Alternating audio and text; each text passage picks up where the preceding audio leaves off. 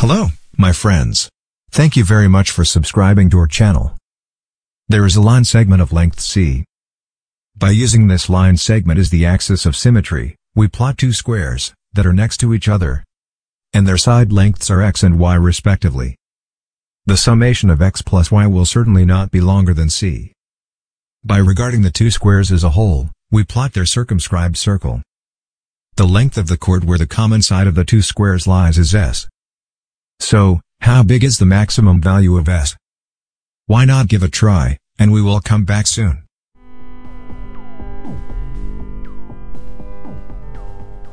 First, we need to be clear of that, this question must be discussed in two cases separately.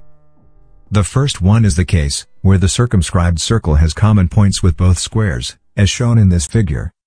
There is another case, when the bigger square is big enough, the circumscribed circle only touches the bigger square but not the smaller one.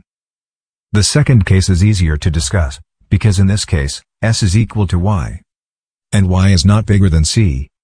So the maximum value of s is actually c. The first case needs to be calculated step by step. If its result is bigger than c, it is the final answer to the question.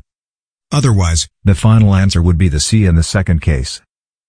Now let's go back to the first case, if we were to guess, we would probably guess that s have a maximum value when x is equal to y. This is actually true. But instead of guessing it, we're going to calculate it step by step. The center of the circumscribed circle must be on the axis of symmetry. Then, we denote its distance to the chord as z. Next, we connect the center of the circle with a common point with the smaller square, a common point with the bigger square, and an endpoint of the chord. In the following, we apply the Pythagorean theorem for three times. In the first triangle, we write the square of the radius as the square of half x plus the square of x plus z. In the second triangle, we write it as the square of half y plus the square of y minus z. In the third triangle, we write it as the square of half s plus the square of z. We first consider x and y as known variables to find z. By using that the first two expressions are equal, we can get an equation for z. Then we apply the formula for the difference of square and eliminate the common parts. So we end up with z equal to 5 eighths times y minus x. Then we bring this z into the equation composed of the latter two expressions. And get that, 5 fourths times x times y, is equal to the square of half s.